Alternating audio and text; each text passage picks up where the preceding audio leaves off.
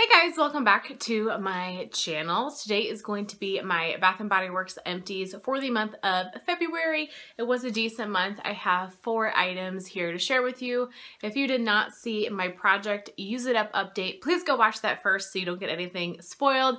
Kind of see where I am at as far as working through my stash and then come back to this video and see the reviews on those items.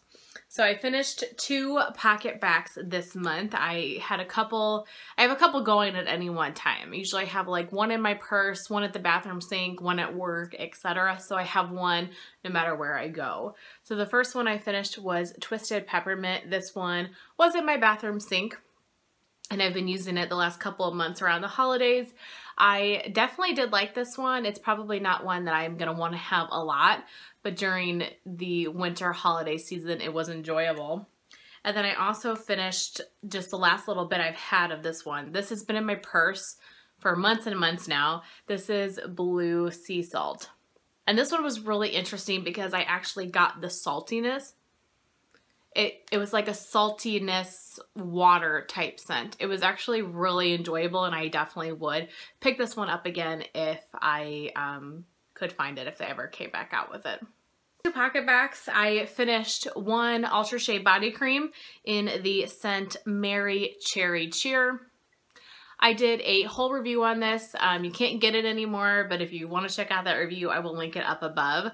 The scent notes are maraschino cherry, pomegranate cider, raspberry blossom, sugared musk, and black cherry amaretto.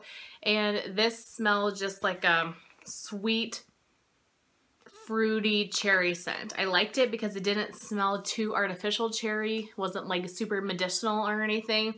Um, it was nice. It was a good like February type of scent.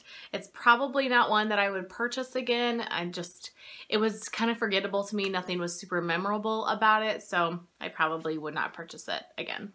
And then the last item that I finished was the Super Rich Moisturizing Body Wash in the scent Pretty as a Peach. So Pretty as a Peach is one of my favorite scents ever. And so when I saw this a couple of years ago, I knew I had to pick it up.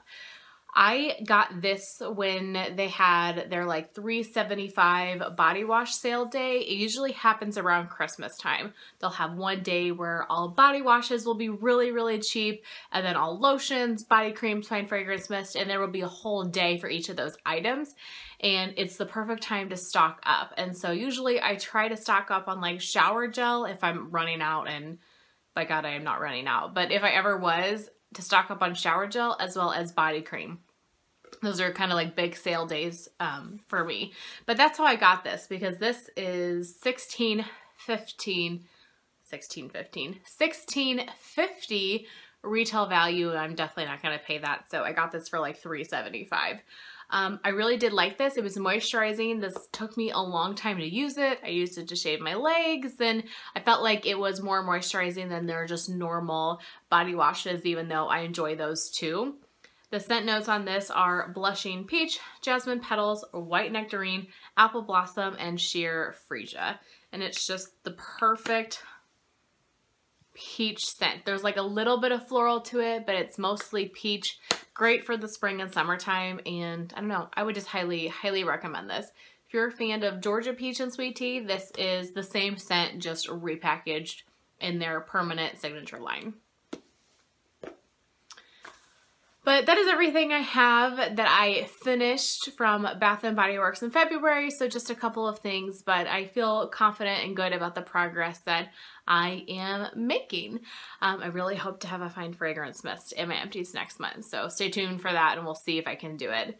But that is everything I have to share with you guys today. I hope you enjoyed seeing what I finish, and I will talk to you in my next one. Bye.